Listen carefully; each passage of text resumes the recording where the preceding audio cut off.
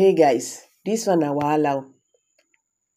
Policemen in Anambra State in panic mode as unknown gunmen intensify attacks.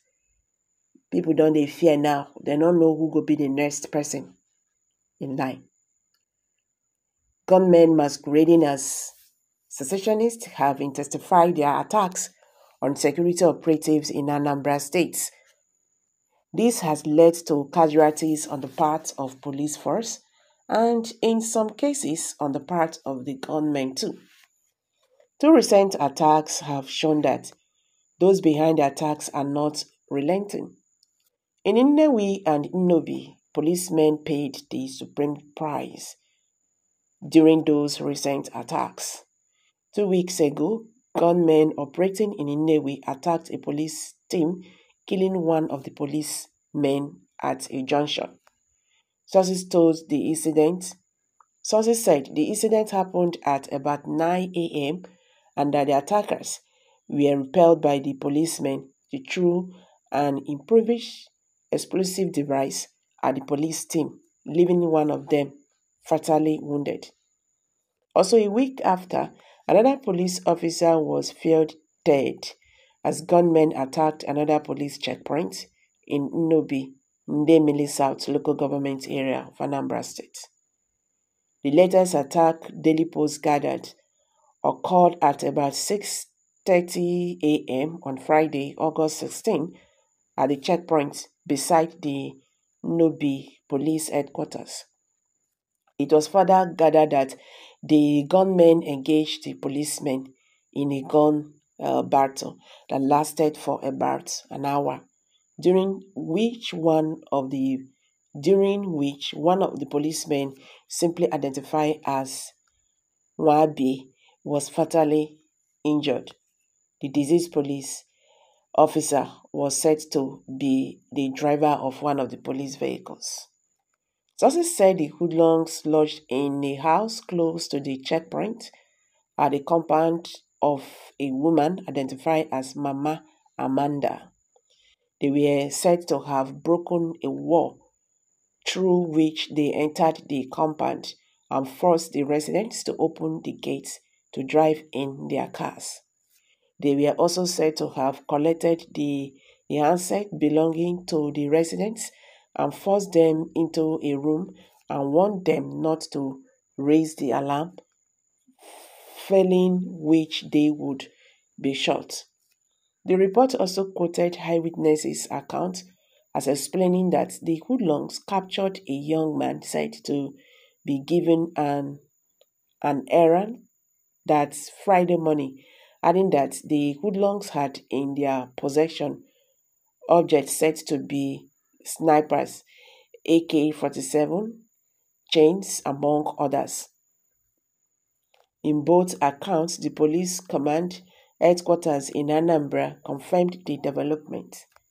The State Police Command spokesperson, SP Tochukwu Ikenga, while reacting to the first attack on Nnewi, said the men were attacked at a checkpoint at Omwata Junction, okay, along the Nnewi Oba Road.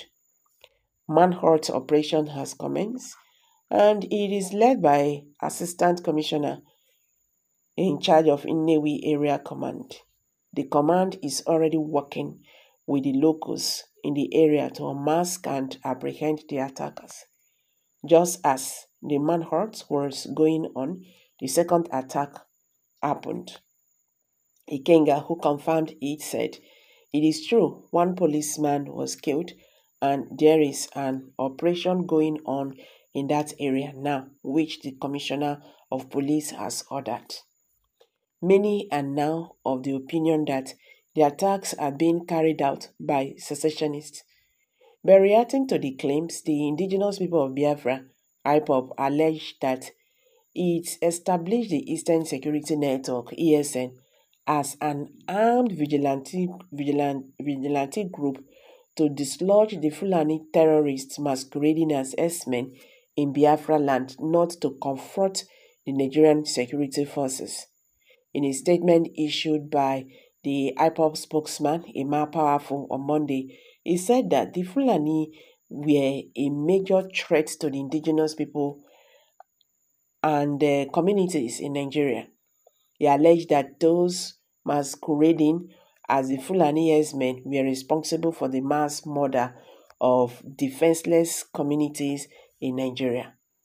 The statement reads, They are responsible for the mass abductions and rape of women in Nigeria. They are behind the kidnapping for ransom and human organ trafficking in Biafra land and in Nigeria with murderous Fulani security agents in Nigeria. In order to defend the defenseless Biafrans, the IPOB leader Mazinam Kano, in collaboration with IPOB Family Worldwide, established the Eastern Security Network ESN in December 2020 as a, as a child of necessity to checkmate the, the activities of Fulani terrorists, nicknamed herdsmen in Biafra land. The mandate given to ESN operatives was to contain, uh, dislodge, and remove terrorists maiming and destroying Biafra farms and farmers.